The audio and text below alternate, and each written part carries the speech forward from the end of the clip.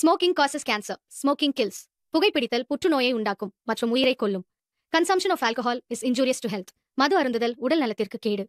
Be safe don't drink and drive பாதுகாப்பாக இருப்பீர். மது அருந்திவிட்டு வாகனம் ஓட்டாதீர். வணக்கம் அன்பு நண்பர்களே. நான் உங்கள் ஜோதிடன் ராஜநாடி காப்பா. மீண்டும் இந்த காணொளி வாயிலாக உங்களை சந்திப்பதில் மிகுந்த மகிழ்ச்சி. நண்பர்களே நாம் இந்த சேனல் வழியாக ஜோதிடம் குறித்த தகவல்களை அதுவும் ரொம்ப தர்க்க ரீதியாக சித்தாந்த ரீதியாக பார்த்துட்டு வரோம். ரொம்ப இடையில வந்த மூட நம்பிக்கைகள் ஜோதிடத்தை நிறையவே ஆக்கிரமிப்பு பண்ணியிருக்கு. இங்கே இருக்கக்கூடிய ஜோதிடர்கள் கூறுவது எல்லாமே ஜோதிடம் அல்ல. அவங்க இடையில வந்த சமூக ரீதியான சில வழக்குகளை ஜோதிடம் போல புரிஞ்சுக்கிறாங்க. ஒரு காலத்தில் கிராமத்தில் இருக்கக்கூடிய பழைய ஜோசியர்கள் பார்த்த உடனே தூக்கி போட்டுருவாங்க. தசாபுத்தி கணக்கு பண்ண மாட்டாங்க லக்னத்தை கணக்கு பண்ண மாட்டாங்க. திறந்து பார்த்தோன்னே ஐயோ இது வேணாங்க. இது கொஞ்சம் பிரச்சனையாக இருக்குது அப்படின்னு சொல்லி கொடுத்துருவாங்க. அந்த டெக்னிக்கை தான் நம்ம பார்த்துக்கிட்டு இருக்கோம். நம்ம வந்து இங்கே தமிழர்களுடைய பாரம்பரிய ஜோதிட முறையை பார்த்துருக்கோம். நீங்கள் இப்போ பார்க்கக்கூடிய ஜோசியர்கள்லாம் சொல்கிறாங்களே லக்னாதிபதி அந்தாதிபதி இந்த அதிபதின்னு போட்டு தசாபுத்தி அந்தரம் சொல்கிறது வந்து அது வட மு- வட இந்திய முறை. நம்ம தமிழர்களுக்கு ஒரு பாரம்பரிய ஜோதிட முறை இருக்குது அப்போ இப்போ நம்ம அதை தான் பார்த்துக்கிட்டு வரோம். வெறும் கிரகங்களை வைக்கிறது என்னென்ன பொசிஷனில் நிற்குதுன்றதை பார்த்து பலன் சொல்கிறது ஒரு காலத்தில் கிராமத்தில் வல்லூர்களோ அல்லது இந்த கிராமப்புறத்தில் இந்த புளிய மரத்தடி ஜோசியர்களோ இதெல்லாம் கணக்கு பண்ணலை. வெறும் நோட்டை திறப்பாங்க பலன் சொல்லி கொடுத்துருவாங்க. ஒரு செகண்ட் மூணு செகண்ட் ரெண்டு செகண்ட் அவ்வளோதான் அப்போ இந்த டெக்னிக்கை நான் உங்களுக்கு சொல்லிக் கொடுக்க ட்ரை பண்ணிகிட்டு இருக்கேன். இன்றைக்கி பார்க்கக்கூடிய தலைப்பு அப்பனுக்கு ஆகாத ஜாதகம்.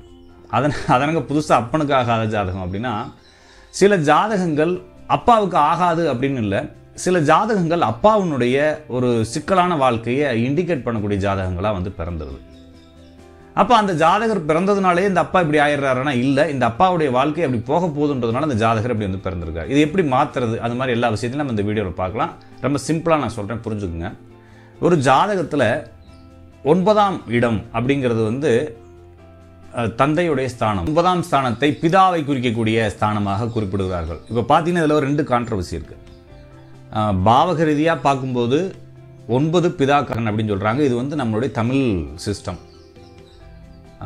இவங்க பயன்படுத்தக்கூடிய பராசரியம் மற்றும் ஹிந்தி சிஸ்டத்தில் அதாவது வட வட இந்திய சிஸ்டத்தில் பத்தாம் இடம் தான் தந்தை. அப்போ இவங்களுக்குள்ளேயே ஒரு முரண்பாடு இருக்குது இது என்ன புதுசு புதுசாக குழப்பம்னால இல்லை நீங்கள் பழைய நூல்களை பிருகத் பராசரம் அது மாதிரி நிறைய டீப்பான நூல்களில் உள்ளே போய் பார்த்தீங்கன்னா தந்தையுடைய ஸ்தானத்தை பத்தாம் இடமாக குறிக்கப்பட்டிருக்கிறது. ஒன்பதாம் இடம் இடம் இல்லை. ஒன்பதாம் இடம் என்பது உங்களுடைய அந்த பாக்கியம். நீங்கள் எதுக்காக இந்த இங்கே பிறந்திருக்கீங்க அப்படி பற்றி மட்டுமே சொல்லப்பட்டிருக்கிறது. சரி நம்ம சப்ஜெக்டுக்குள்ளே போகலாம். அப்போ இந்த ஒரு ஜாதகத்தில் ஒரு குறிப்பிட்ட ஸ்தானத்தை பார்க்கணுமா? இந்த லக்னாதிபதியில் இங்கே பார்க்கணுமா? இன்னும் தசை வந்தால் தப்பா அப்பாவுக்கு இது நடக்குமானா? அதெல்லாம் நீங்கள் எதுவுமே பார்க்க தேவையில்லை. நான் இந்த கட்டத்தில் கொடுக்குற விஷயத்தை பாருங்கள் நாலே நாலு கட்டத்தில் சூரியன் எழுதியிருக்கிறேன் ஒரு ஜாதகத்தை திறந்த உடனே இந்த கட்டங்களில் சூரியன் இருந்துட்டா. ஏதோ ஒரு கட்டத்தில். அப்போ இதை ஈஸியாக எப்படி கண்டுபிடிக்கிறது ஜாதகத்தை பார்க்காம அப்படின்னா ஒரு ஜாதகர் ஐப்பசி மாசி சித்திரை ஆவணி. இந்த நாலு மாசத்துல பிறந்திருக்காரு அப்படின்னா அவங்க அப்பாவுக்கு பெரிய பிரச்சனை இருக்கு. அந்த அப்பா இந்த ஜாதகருக்கு உதவ மாட்டாரு. அல்லது இந்த ஜாதகருடைய அப்பா குடும்பத்திற்கு உதவும் சூழலில் இருக்க மாட்டார். அதை என்ன வேணாலும் செய்யும் இயற்கை. அவரை வந்து பிரித்து வச்சிரும் அவர் வேற ஏதாச்சும் ஆக்கிரும் இல்லைன்னா குடும்பத்தோட சண்டை போட வைக்கிறோம். இல்லைன்னா குடும்பத்தில் வந்து ரொம்ப ஒரு மாதிரி மிஸ்பிஹேவ் பண்ணுறது இது மாதிரி செஞ்சிருவார். அப்போ ஆக மொத்தத்தில் இந்த பையனுக்கு இந்த அப்பா உதவ மாட்டார்.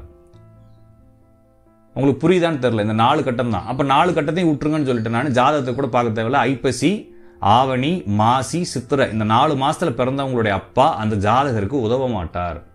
இந்த ஜாதகருக்கு உதவுறது போல இந்த ஜாதகருடைய அப்பா நடக்க ஆரம்பிச்சிட்டா கொஞ்சம் தம் கட்டி இல்லை கொஞ்சம் போராடி அந்த விஷயத்தை சரி பண்ணுறேன் நான் குடும்பத்தை வழிநடத்துறேன் அவங்க அப்பா முயற்சி எடுத்தா அவங்க அப்பாவை என்ன பண்ணியது இயற்கை. ஏதாச்சும் ஒரு சம்பவத்தின் மூலியமாக இந்த குடும்பத்திலேருந்து பிரிச்சிருது. இந்த அப்பாவுக்கு உதவாத ஜாதகம் அப்படின்றதுல மொத்தம் இருபத்தி நாலு டைப் ஆஃப் ஜாதகம் இருக்கு. நான் இப்போ சொல்லிக்கிட்டு இருக்கிறது பேஸ் இதனுடைய அடித்தளம். இதே ஜாதகம் ஒரு ஜாதகம் அப்பாவை பிரிஞ்சிடுறாரு இல்லைன்னா அப்பானால அனுகூலம் இல்லை அம்மா தான் ஹேண்டில் பண்ணுறாங்க அந்த ஜாதகர் ஒரு பதினேழு பதினெட்டு வயசில் வேலைக்கு போய் குடும்பத்தை பாதுகாக்க வேண்டிய அமைப்பு இருக்குன்னா அதுக்கு சில கிரகங்கள் இருக்கு.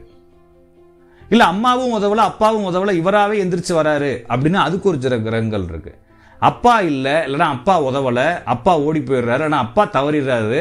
அப்போ குடும்பத்தை அம்மா வழிநடத்தி இந்த ஜாதகர் அம்மாவுடைய காசை வாங்கி குடிக்க தண்டமானம் போட ஊர் சுற்றி வர எதுக்கும் தண்டமாக இந்த ஜாதகரை விளங்காமல் போகிறதுக்கு இன்னொரு ஜாதக அமைப்பு இருக்குது அப்போ இது மோ இது மாதிரி ஒரு இருபத்தி நாலு இருபத்தஞ்சு ஜாதக அமைப்புகள் இருக்குது ஆனால் நம்ம இதில் இருக்கக்கூடிய எல்லாத்தையும் ஒருங்கிணைச்சு ஒரு பேஸ் அவங்க அப்பா உதவ மாட்டார். அந்ததை மட்டும் பார்த்துக்கிட்டு இருக்கோம். இதுக்குள்ளே அவருடைய கேரக்டர் என்ன அவங்க அம்மாவுடைய கேரக்டர் என்னன்னு பார்க்குறதுக்கு நான் அடுத்தடுத்த வீடியோக்குள்ளே போகிறேன் இன்றைக்கி நம்ம பார்க்கக்கூடிய தலைப்பை மட்டும் பேசுவோம். அப்போ அடுத்த ஒரு அமைப்பு அமாவாசை பௌர்ணமி. அமாவாசை பௌர்ணமிக்கு முன்னால தேதி பின்னால தேதி. இல்லை இன்னும் கொஞ்சம் சிம்பிளாக சொல்கிறதா இருந்தால் ஒரு ஜாதகத்தை திறந்த உடனே சூரியனுடன் சந்திரன் சேர்ந்திருப்பது அல்லது சூரியனுக்கு ஏழாம் ராசியில் சந்திரன் இருப்பது. சூரியனை ஒன்றுன்னு வச்சுக்கிட்டு ஒன்று ரெண்டு மூணு நாலு அஞ்சுன்னு எண்ணிங்கன்னா ஏழாவது ராசியில் சந்திரன் இருப்பது. அடுத்து சூரியனிலிருந்து ஐந்தாவது ராசியில் சந்திரன் இருப்பது. அடுத்து சூரியனிலிருந்து ஒன்பதாவது ராசியில் சந்திரன் இருப்பது. அப்போ சூரியனுடன் சந்திரன் சூரியனுக்கு ஐந்தில் சந்திரன் சூரியனுக்கு ஏழில் சந்திரன் சூரியனுக்கு ஒன்பதில் சந்திரன். இந்த நாலு ஸ்டேட்டஸில் சூரியன் சந்திரன் காம்பினேஷன் இருந்தால் அந்த குடும்பத்திலையும் அப்பானால உபயோகம் இல்லை. ஒருவேளை அப்பா வந்து வீட்டில் இருப்பார் வீட்டில் நல்லா இருப்பார் எல்லாம் பண்ணுவார் ஆனால் குடும்ப பொறுப்புகள் அவங்க அம்மா கண்ட்ரோலில் இருக்கும். இதில் எது வேணாலும் நடந்துடலாம் அம்மா தான் சார்ஜ் எடுப்பாங்க. அவ்வளோதான் சிம்பிள் இதோடைய ரூல் அப்போ அந்த நாலு மாதத்தில் பிறந்தவருடைய தந்தை சிக்கல் இந்த காம்பினேஷனில் சூரியன் சந்திரன் காம்பினேஷனில் இருக்கக்கூடிய பிறந்த தந்தைகளினுடைய வாழ்க்கை சிக்கல். அப்போ இந்த ரெண்டே ரெண்டு ரூல் தான். இதுக்கு மேலே நீங்கள் ரூலே கிடையாது. அவன் என்ன லக்னமாக இருக்கலாம் என்ன நட்சத்திரமாக இருக்கலாம் சக்கரத்தில் என்ன கிரகங்கள் எங்கே வேணாலும் இருக்கலாம். எல்லா சக்கரங்களும் ஒரு மாதிரி இருக்கலாம். அவருக்கு பரல் என்னவாக இருக்கலாம் யோகி என்னவாக இருக்கலாம் அவயோகி என்னவாக இருக்கலாம் திதி யோகம் கரணம் நட்சத்திரம் நாமம் எல்லாமே. டோட்டலாக என்ன வேணாலும் இருக்கலாம். என்ன மல்டி காம்பினேஷன்லாம் அவனுக்கு என்ன வேணாலும் இருக்கலாம். லட்சக்கணக்கான ஜாதக அமைப்புகள் இருக்கலாம். ஆனால் நான் சொன்ன இந்த ரெண்டு அமைப்பு அப்போ சூரியன்லேருந்து ஒன்று அஞ்சு ஏழு ஒன்பதில் சந்திரன் அமர்ந்தாலோ அல்லது மாசி ஆவணி சித்திரை ஐப்பசி மாதம் பிறந்தாலோ இந்த ரெண்டே ரெண்டு காம்பினேஷன் இருந்தால் இந்த ஜாதகரால் அல்லது இந்த ஜாதகர் அவருடைய தந்தையின் உபயோகமின்மையை குறிக்கிறார். சரி இதை எப்படி சரி பண்ணுறது அப்போ இந்த அமைப்பு இருப்பவர்கள் என்ன செய்யலாம்? அப்படின்னா இவங்க அப்பா சம்பாதிக்கலாம் இவங்க அப்பா எல்லாத்தையும் செய்யலாம். ஆனால் குடும்ப பொறுப்புகள் வரும் பொழுது ஒய்ஃபிட்ட கொடுத்துட்டு ஒதுங்கிக்கணும். அப்போ இந்த ஜாதகருடைய தந்தை வீட்டுக்கு வெளியே பெரிய ராஜாவாக இருக்கலாம்.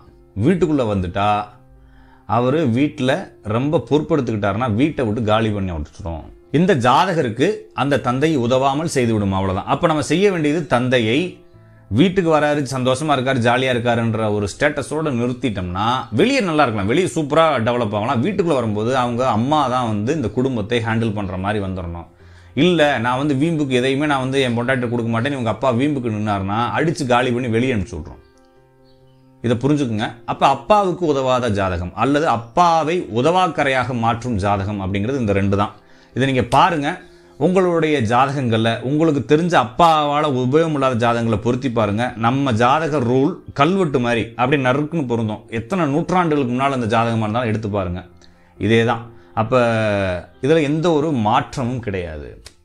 இதில் சந்திரன் என்ன பொசிஷன் இருந்தால் அம்மாவுடைய டாமினேஷன் அதிகமாகும். சூரியன் என்ன பொசிஷன் இருந்தால் இது இன்னும் கொஞ்சம் மல்டி காம்பினேஷன் இருக்குது இருந்தாலும் அந்த காம்பினேஷன் போக தேவையில்லை. சிம்பிள் ரூல் சூரியன் இருக்கக்கூடிய ஸ்டேட்டஸ் சூரியன் வந்து சந்திரன் இருக்கக்கூடிய ஸ்டேட்டஸ் இந்த ரெண்டும் தான். நாலு மாசத்துல பிறந்தாலே இந்த பஞ்சாயத்தை கொடுத்துருது.